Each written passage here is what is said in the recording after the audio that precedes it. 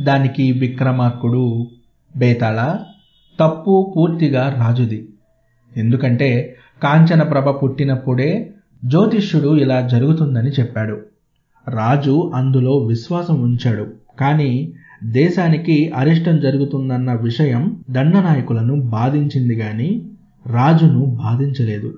కనుకనే వారా పిల్లను అప్పుడే చంపమంటే అడ్డుపడ్డాడు. పైపెచ్చు ఆ జ్యోతిష్యుడి మాటల మీద నమ్మకంతోనే ఒక అపూర్వ సుందరిని తనకు భారీగా చేసుకోగోరాడు.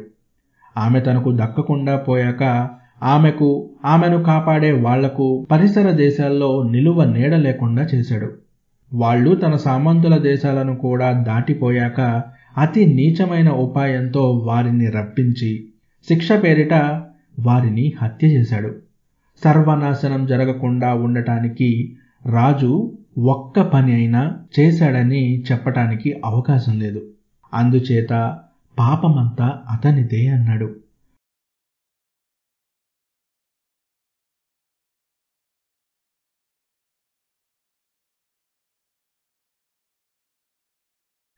పట్టువదలని విక్రమార్కుడు చెట్టు వద్దకు తిరిగి వెళ్ళి చెట్టుపై నుంచి శవాన్ని దించి భుజాన వేసుకొని ఎప్పటిలాగే మౌనంగా శ్మశానం కేసి నడవసాగాడు. అప్పుడు శవంలోని బేతాళుడు రాజా నీవు పడే ఈ శ్రమ ఫలించాక ఆ ఫలితాన్ని నీవు పొందుతావో లేక భైరవుడిలాగా జారవిడుస్తావో నాకు తెలియడం లేదు.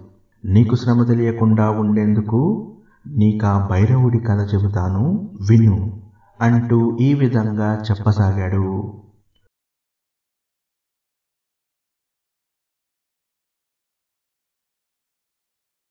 భైరవుడు ఒక మారుమూల గ్రామంలో పుట్టాడు. అతనికి చిన్న వయసులోనే తండ్రి పోయాడు. వాళ్ళు నిరుపేదలు కారు. కష్టం చేసుకుంటే జీవితంలో లోటు లేకుండా వెళ్ళిపోతుంది. భైరవుణ్ణి తల్లే పెంచింది. చదువు చెప్పించింది. పెరిగి పెద్దవాడై విద్యాబుద్ధులు అలవర్చుకున్నాక తన కుగ్రామంలో కష్ట జీవితం గడిపే కన్నా కొద్ది పెట్టుబడితో వ్యాపారం చేసి తాను సుఖపడి తల్లిని సుఖపెట్టవచ్చునని భైరవుడికి అనిపించింది. అందుచేత అతను పెట్టుబడి సంపాదించుకుందామని నగరానికి బయలుదేరాడు. ఖర్చుకుగాను కొంత డబ్బు తన తల్లి నగలు వెంట తీసుకున్నాడు. కొంత దూరం వెళ్ళాక ఒక ఊరి బయట భైరవుడికి ఒక విషాదకరమైన దృశ్యం కనబడింది. ఒక యువకుడు ఒక స్త్రీ శవం ముందు కూర్చొని కంటికి మంటికి ఏకధారగా ఏడుస్తూ ఉన్నాడు. భైరవుడు ఆ యువకుణ్ణి సమీపించి ఎవరు నాయనా నువ్వు? ఈ చనిపోయిన మనిషి ఎవరు? ఈ నిర్జన ప్రదేశంలో కూర్చుని ఎందుకు ఏడుస్తున్నావు? అని అడిగాడు. నేనొక అభాగ్యుణ్ణి. ఈ చనిపోయినది నా భార్య. నా తండ్రి పేరుబడిన సముద్ర వర్తకుడు. ఆయనతో పాటు మూడు ఓడలు సరుకుతో సహా సముద్రం పాలయ్యాయి. నాకు మా వ్యాపారం తాలూకు అప్పులే మిగిలాయి. నాకున్న ఆస్తి అంతా అమ్మినా ఆ అప్పులు పూర్తిగా తీరలేదు. అవమానంతో నగరంలో బతకలేక ఈ పక్కనే ఉన్న గ్రామం చేరి అక్కడ నేను నా భార్య అజ్ఞాతవాసం గడిపాం. నిన్న రాత్రి నా భార్య చనిపోయింది. గ్రామస్తులను యాచించడం చేతగాక శవాన్ని మోసుకొని ఇక్కడికి చేరుకున్నాను. ఈ శవానికి దహనం చేసే దక్షత కూడా నాకు లేదు అంటూ ఆ యువకుడు పెద్ద పెట్టున ఏడవసాగాడు. విచారించకు. నేను గ్రామంలోకి వెళ్ళి దానక్రియలకు ఏర్పాటు చేస్తాను. అన్నాడు భైరవుడు. క్షమించండి నేను మీ వద్ద దానం పట్టలేను అప్పు చేయలేను. నేను కూడా ఇక్కడే ప్రాణాలు విడిచాక ఏ నక్కలో పీక్కు తింటాయి లేదా మా ఇద్దరి అనాథ ప్రేతాలకు కలిపి ఎవరో ఒకరు సంస్కారం చేస్తారు. మీ దారిన మీరు వెళ్ళండి నా సమస్య మనుషులు తీర్చేది కాదు అన్నాడు యువకుడు. భైరవుడు అతనితో నేను నీకు దానం ఇవ్వటం లేదు అప్పు పెట్టడం లేదు నేను వ్యాపారం చేద్దామని బయలుదేరాను. నా దగ్గర కొద్దిగా డబ్బుంది. అది నేను నీ కోసం ఖర్చు చేస్తాను.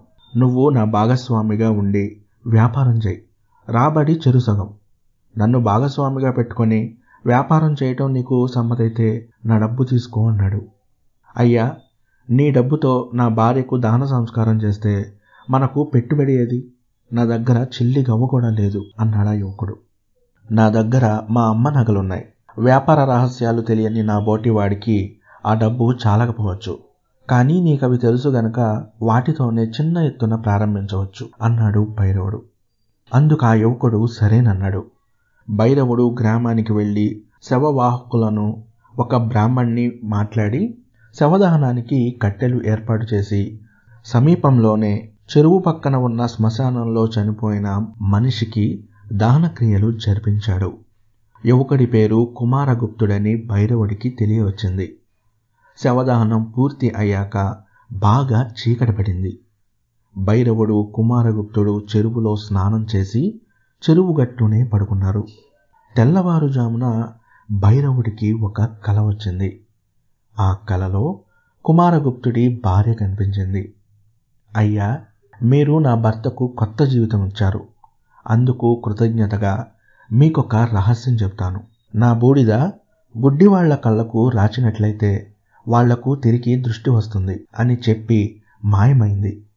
వెంటనే అతనికి మెలకు వచ్చింది. భైరవుడు నిద్రలేచి తనకు వచ్చిన కళ గురించి ఆశ్చర్యపడ్డాడు. తన కలను అతను నమ్మలేకపోయాడు. కానీ కుమారగుప్తుడి భార్య కలలో అన్న మాటలు ఇంకా అతని చెవిలో గింగురమంటూనే ఉన్నాయి.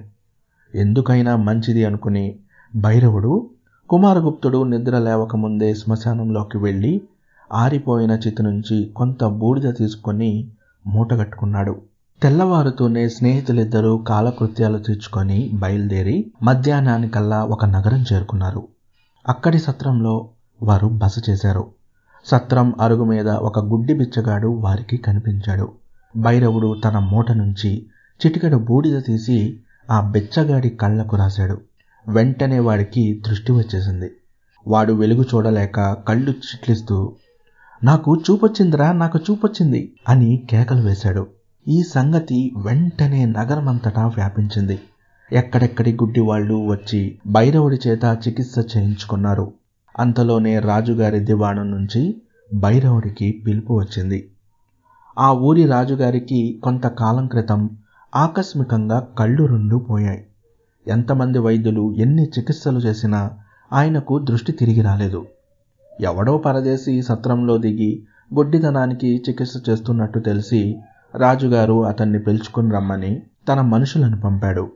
కుమారగుప్తుణ్ణి సత్రంలోనే ఉండమని చెప్పి భైరవుడు రాజభవనానికి వెళ్ళాడు. రాజవైద్యులు భైరవుణ్ణి అనేక ప్రశ్నలు వేశారు. అతను ఎవరి దగ్గర వైద్యం నేర్చుకున్నాడు? అతను ఉపయోగించే భస్మంలో ఏమేమి దినుసులున్నాయి? ఎన్ని పుటాలు వేసిన భస్మం అది అని నేను వాడే భస్మం ఏ వైద్యుడికి దొరికేది కాదు. దానితో దృష్టి కలుగుతున్నంత కాలము ఉపయోగిస్తాను అన్నాడా భైరవుడు. అతను రాజుగారి కళ్ళకు బూడిద పూయగానే రాజుగారికి తిరిగి కళ్ళొచ్చాయి. మహారాజా నాకు సెలవిప్పించండి అన్నాడా భైరవుడు. నాకింత ఉపకారం చేసిన నీకు తగిన ప్రత్యుపకారం చేయకుండా పంపనా? అంటూ రాజుగారు భైరవుణ్ణి పరీక్షగా చూశాడు. యువకుడు అందంగానే ఉన్నాడు.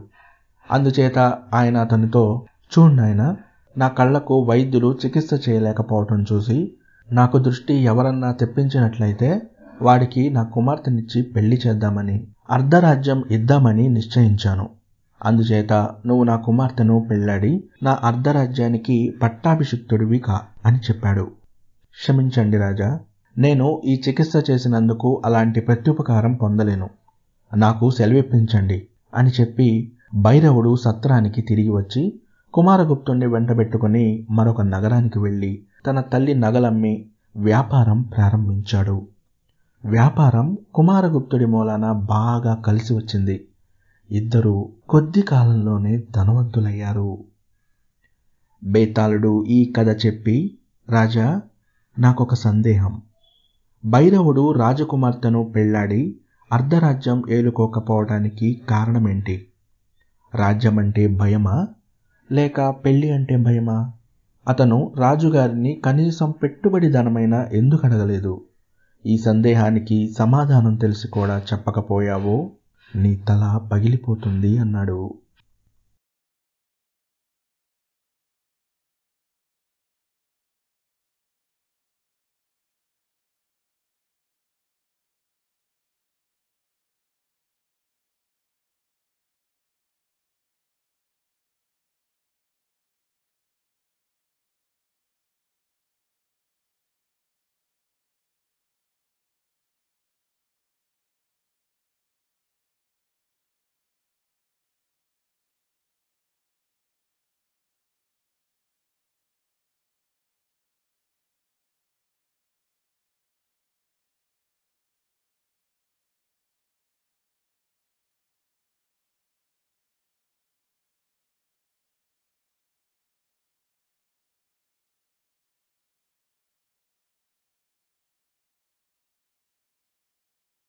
రాజుకు ఈ విధంగా మౌనభంగం కలగగానే బేతాళుడు శవంతో సహా మాయమై మళ్ళీ చెట్టెక్కాడు.